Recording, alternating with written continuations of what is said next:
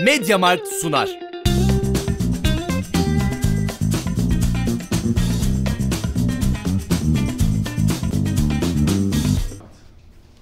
Artık madem tişörtü giydin, eline attın geçti. Bu da hediye geldi. Her yer Liverpool. Sen El Clasico'da konuşalım dedi. Önce bir Liverpool'un yeni- yenilmezlik serisinin bitişini kutluyor musun? Hoşuna mı gitti? Kurtulduk bu muhabbetten mi diyorsun? Ne diyorsun? Bir şey yapsan analiz etmeni isterim açıkçası.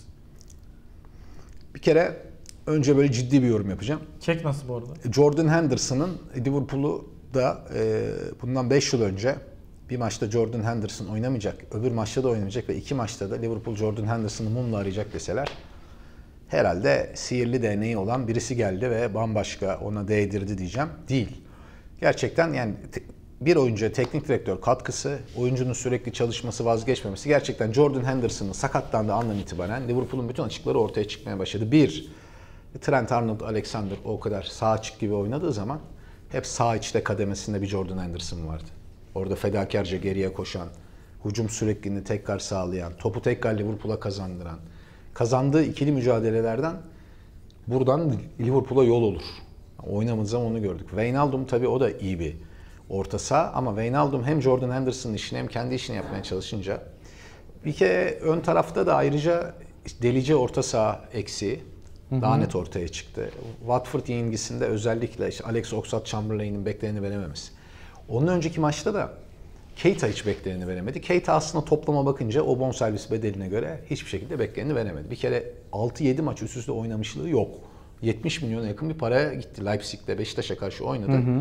Anlaşma yapıldı. 70 milyon sezon sonu gitti. Üst üste 7-8 maç 11'de oynadın ya da iyi oynadın hatırlamıyorum. Bir ilk geldiği zaman 4 maç çok iyi oynamıştı. O delici orta saha rolünü. Daha sonra belki bu düzende de ona yer kalmadı. İki, e, Origi geçen sezonki gibi değil. Yani geçen sezon bu zamanlarki gibi değil. Hani bizim başka bir kanalda yaparken o aralar Origi o kadar kötüydü ki Origi mi Orgil mi tartışılır diye espri yapmıştık ama gerçekti ya. O seviyeye geriledi. 3. Yani Van Dijk bakın Liverpool kariyerinde kaç yenilgisi var? 5. Yani Van Dijk geldiğinden beri Van Dijk'ın oynadığı maçlarda Liverpool sadece 5 kez yenilmiş. Bak dördünde stoperdeki tandemi kim? Diğer stoper kim? Bak zaten görünen köy kılavuz istemez yani. yani ben söyleyecek, ekstra ekleyecek hiçbir şey bulamıyorum kendisine. Ee, Adını da pek anmak istemiyorum. Ee, Ya, serinin bitmesi kızdın- kaçınılmaz bütün Kızdığın faktörler kadar, olunca. kızdığın kadar var Lover hakikaten. Ee, ama orta saha için şunu söyleyeyim. Şimdi 3 tane zaten forvetim var abi. Firmino, Salah, Mane. Ya çok çok üst düzey oyuncular. Ee, ama ben sadece 3 tane olduğunu düşünmüyorum. Yani buna e, Robertson'ı da, Andy'yi Trent'i de katmak lazım. Yani sen beşliyorsun ön tarafı beklerinle birlikte. Şimdi 5 tane oyuncum var. Bu noktada hem senin dediğin gibi beklerin kademesine girebilecek hem de orta sahayı kapatabilecek oyuncular olması gerekiyor. O yüzden oyu yani belki çok gösterişsiz gözüküyor orta saha oyuncuları. Hü- Hücum hattına ve stoper işte Van Dijk'a falan baktığında Trent'e ve e, baktığında gösterişsiz duruyor ama esas e, Liverpool'u sırtlayan fiziksel olarak söylüyorum. Teknik olarak sırtlayan tabii ki hücum oyuncuları, tabii ki bekler. E, savunma olarak sırtlayan tabii ki Van Dijk. Bunlar bir şey demiyorum ama e, fiziksel olarak sırtlayan ve bu takımın belinin kırılmamasını sağlayan, e, üstündeki yü- yükün altına kalmamasını sağlayan adamlar işte Henderson'ı, Wijnaldum'u, Fabinho'su. Çünkü Fabinho da sakatlıktan Tabii çok kötü döndü. sakatlanmadan önceki Fabinho'yu mumla arıyorsun Ee, şimdi. öyle. E şimdi o orası işlediği zaman göz, e, hani gösterişsiz adamlar şey dediği şımarıklığına da gidebiliyor insanın aklı doğal olarak. Ya şimdi atıyorum Wijnaldum'un yanı Kate olsa daha driplingçi, daha hücum daha iyi olur. Ama olmuyor işte yani senin e, o Keita'nın yapacağı hücumun daha iyisini zaten Andy yapıyor, Trent yapıyor. Salah, Mane, Firmino yapıyor. Zaten 5 tane hücumcun var senin.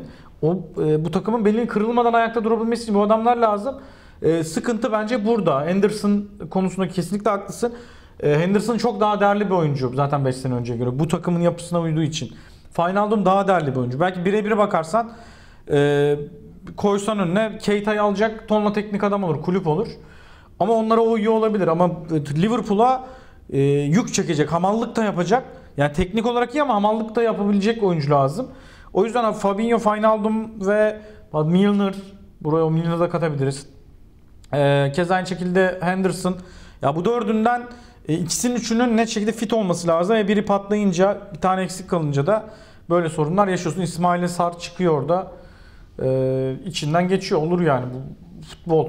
E, zaaf gösterirsen değerlendiren de Bir de çıkar. bir tane adam var o hangi takıma girse abi panik düğmesi gibi adam ya yemin ederim bak düşündüm. Şu bir ara diyorlardı ya bu Barcelona'yı kim durduracak? Guardiola'nın o Barcelona'sını. Yani Manchester United'da Şampiyon Ligi finali oynuyorlar ama yani çok belli. Hı, aynen. Ya 1-0-5 bile vermiyor Barcelona'nın Şampiyonlar Ligi şampiyonu olması da finalden önce. Oyuna Scholes falan giriyor kaç yaşından sonra. Alex Ferguson ne yapsın? Alex orta Ferguson e, kendi eleştirisini en yüksek yaptığı maç oydu. Ben hata ettim. Ben o Barcelona top oynamaya falan çalıştım. Aşık atamadık E demişti. sonra top oynamamaya da çalıştı. Yine olmadı abi. O o takımı durdurabilecek birisi vardı. Puyol yerine Lovra. malum şu o takım hiç bu kadar. Abi gerçekten adam seri katili. Yani serileri bitiren adam. Böyle çok var yani. Anladın mı? Bak seri katil. Ya çok iyi bir adam. Şu ırkçılığa karşı duruşu. Bak oynamadığı zamanlar ne kadar seviyordum.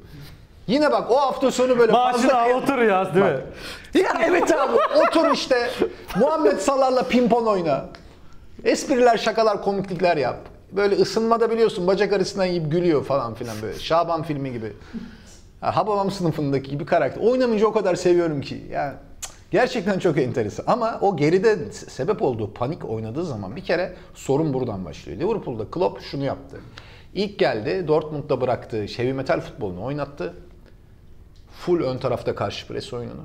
Bir dahaki sezon özellikle Van Dijk geldikten sonra dedi ki bizim artık sürekli heavy metal futbol oynamamıza gerek yok. Biz daha biraz daha klasik müzik geriden kurarak oyunu şöyle yaylana yaylana yayıla yayıla oynayacağız diye ve öyle Şampiyon Lig şampiyonluğu geldi. Lig şampiyonluğu yarışında da puan farkı öyle ortaya çıktı. Herkes çok sakindi. Gomez daha önce geldi biliyorsun. Bayağı önce Van Dijk'lardan falan önce geldi takımı. Brandon Rodgers döneminde Aynen. bazı maçlarda sol bek oynuyordu genç Gomez, Joe Gomez. Yani oynatılmak zorunda kalıyordu orada yokluktan. O böyle ne kadar sakindi topla çıkışlar. Bu sezon ne kadar iyi oynuyor Gomez. Bence şu anda en formda İngiliz stoper İngiltere milli takımı için Joe Gomez değil mi? Tamam Maguire çok para, kaliteli oyuncu, çok iyi oyuncu ama o bonservisin paraleli kadar da oynamadı şu anda. Yani en çok gelişen Gomez oldu diyebiliriz. Çünkü John Stones'un falan da bir var mı yok mu belli değil. Doğru. Yani şimdi hakikaten çok önemli oyuncu. Öbürü zaten Matip Bey. Onun klasik özelliği 7 maç mükemmel oynar. Tamam. Bu sorun ortadan kalktı. Delihti bile almalarına gerek yok artık. Dersin cümleyi tamamlamadan böyle bir durur. Önce ona Van Dijk gelir böyle bir arka adele mi gitti acaba çekelim falan. Geçen maç oyuna girdi. Yine böyle tanınmaz halde döner. Sakatlandıktan sonra resmen adam böyle resetleniyor, sıfırlanıyor. Çok enteresan. Yalnız Liverpool'da birçok oyuncuda bu var. Mesela Fabinho da sakatlandıktan sonra Evet. çok geriden başlıyor. Acaba bu da işte Jurgen Klopp'un teknik direktörlüğündeki tek zayıf noktası olabilir mi onu düşünüyorum. E, olabilir. E, bakalım Atletico maçı da oynanacak. Vallahi yine çok hafta- kırıcı kıyıcı bir maç. Son 4 maç 3 yenilgi oldu Liverpool. FA Cup'tan da elenmesiyle beraber Chelsea'ye. Hı hı. Ama Acaba bu yenilgi serileri buradan sen çok yaşa. Acaba yaşa, şampiyonluğu evet. buradan vereceğek kadar puan kaybeder mi geri kalan haftalar? O kadar yenilir mi diye düşünmeden edemiyorum. yok yok. Ya vallahi ben adamı gördükten sonra 6 numarayı hatırladım yani. Fabrika ayarlarıma döndüm ben. Yok. ya. Bir te- tedirginlik geldi değil mi? Abi nasıl gelmez adam? Yani. Uçağa binsek ben derim ki efendim ben insem mi panik düğmesi yanımda yani. Adam panik ya. Ben anlayamıyorum mesela Hırvatistan milli takımında da panik yani. Hep bir panik var adamda. Mesela kardeşiyle biliyorsun kardeş de futbolcu. Kardeşiyle bir tane sosyal medya videoları var. Böyle çimlerde, çayırda oynuyorlar. Böyle havuz kenarı zengin evinde, yazlıkta. Orada çocuğa niye öyle dalıyor panik şeklinde? O videoyu hatırlıyor musun? aynen aynen. hatırladım. Hatırladın mı? Böyle Konuşmuştuk, insan kardeşine öyle girer mi abi? Şakasına bile kardeşime sen yapar mısın öyle şey abine kardeşine? Benim yoktu abi. Ya olsun olsa yapar mıydın? Yapmam yani Sen tabii onu- ki. Senin şeye Emre Özcan'a kardeşin gibi seviyorsun. Öyle yapar mısın hiç abi? Yok yapmam. Berkay'a bile yapmazsın yani. Berkay Berkay Muriki ya.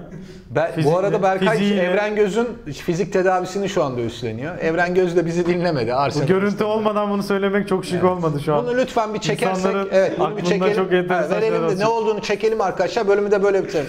Gösterin. Çek tabii. Fotoğrafını koy. Çek de sonra ben kötü çekip- dedikoduları... Hayır hayır. Bu, ya programa koysun. çeksin abi. Hayır hayır sonra kötü dedikoduları Hayır hayır kamerayı değiştirmesin diye. Kamerayı değiştirmeyecek, çevirecek alt üstü yana.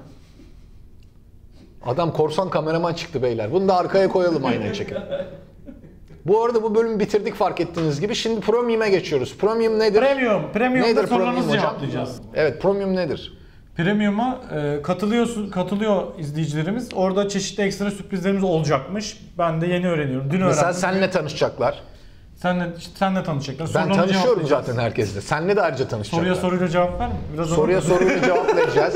özel sorularınızı özel olarak cevaplayacağız premiumcular için. Ve başlıyoruz. Birazdan Evren Göz. Sorular Kendine geliyor. gel ne bu lo? Novran Sorular Pazarı. gelirken biz de veda ediyoruz. Peki. Sorular geldi. Premium bölümünde buluşuruz. Mediamarkt sundu.